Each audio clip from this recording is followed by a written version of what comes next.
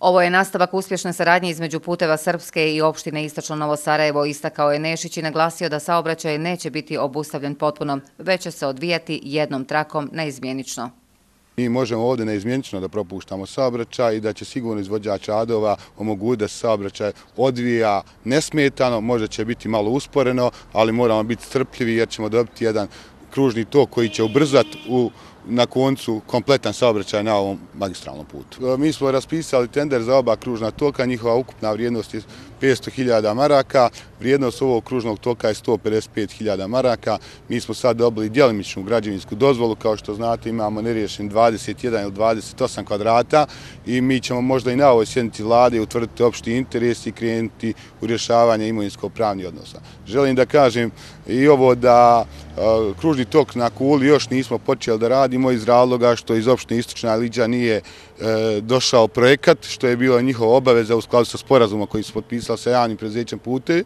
Znači, javno prezeće pute Republike Srpske, na čijem se čelu nalazim, je obezbijedilo 500.000 maraka za taj kružni tok i ovom prilikom apelujem na načelnika opštine Istočna Liđa da nam što, što kraćem roku dostave projekat kako bi mi mogli krenuti u izgradnju toga kružnog toka.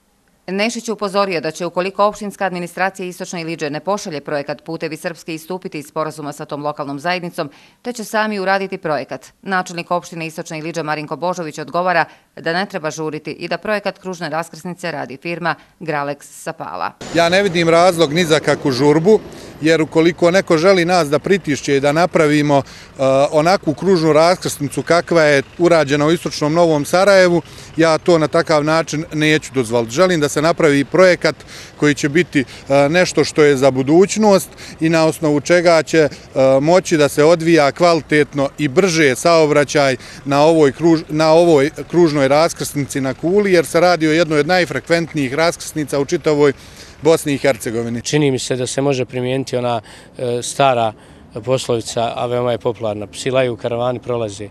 Ovaj, jer e, ovdje ima u kontinuitetu nekih negativnih priča oko jednog i drugog i petog i desetog kružnog toka. Saobraćaj se odvija, nema saobraćajnih nezgoda, nema nikakvih problema i onda dođu ljudi i pričaju e, negativne stvari. Ja mislim da je ovdje prioritet opštine da obezbijedi rešavanje imovinsko-pravnih odnosa kroz saradnju sa pravobranjivacom vladom Republike Srpske. Prioritet e, investitora, odnosno javnog prezeća puta u Republike Srpske da u planu svog budžeta obezbijedi sredstva, a prioritet izvođača radova je da omogući da se ovo radi u skladu sa projektnom dokumentacijom. Direktor firme Prijedor Putevi koja će izvoditi radove pojasnio je da je riječ o trokrak raskrsnici, čiji će jedan dio morati da se proširi i izgradi potporni zid da bi se dobila sama širina raskrsnice.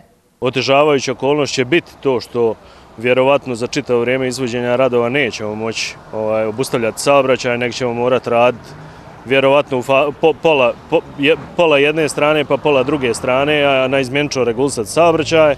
Na ovom kružnom toku će biti po jedna ulazna i izlazna traka. Unutrašnji krug će biti 6 metara, a vozni dio 2,5 metra, što će omogućiti nesmetan protok saobraćaja i manje gužve ističe Crnogorac i moli vozače i građane za strpljenje. Rok izgradnje ove kružne raskrsnice je 90 dana.